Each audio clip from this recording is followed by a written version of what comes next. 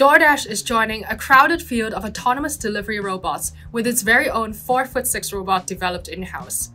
Unlike some of its more boxy looking competitors, DoorDash's robot, called Dot, has a unique cheese wheel-like round shape for its storage compartment, which can store up to 30 pounds of cargo, or 6 pizza boxes.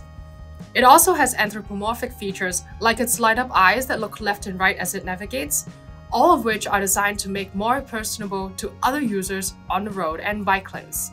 What's also different is that it can travel up to 20 miles per hour, faster than urban sidewalk robots programmed by DoorDash's partner Coco Robotics in LA and Uber's partner Serve Robotics, which is making deliveries in Chicago and Atlanta. Autonomous delivery companies are getting new funding and partnerships and are expanding their presence in the US.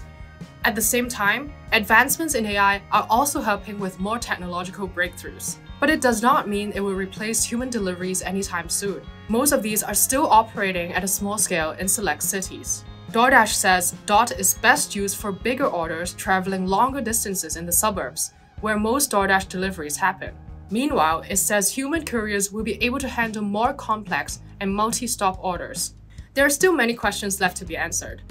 DoorDash says it is still in internal discussions on where it will manufacture and source components for the robot. Plus, it will also need to win over regulators to allow its robot to not just be on sidewalks, but also alongside cars.